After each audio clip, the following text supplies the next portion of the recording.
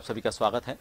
झांसी ज़िले के प्रेमनगर थाना क्षेत्र में बदमाशों ने दिन दहाड़े आरपीएफ सिपाही को अपना निशाना बनाया।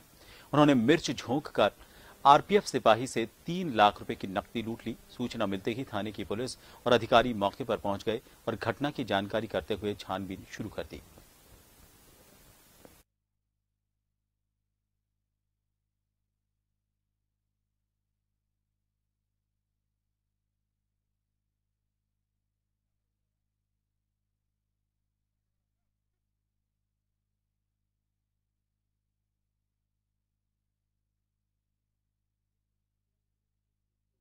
एक व्यक्ति द्वारा शिकायत की गई थाना प्रेम नगर में कि उसके साथ आँख में मिर्च डाल करके पैसे लूट लिए गए हैं जो उनके हिसाब से तीन लाख रुपए हैं। मौके पर परिस्थितियाँ जब देखी गई तो घटना संदिग्ध लग रही है फिर भी अभियोग पंजीकृत करके उसकी विवेचनात्मक कार्रवाई की गई।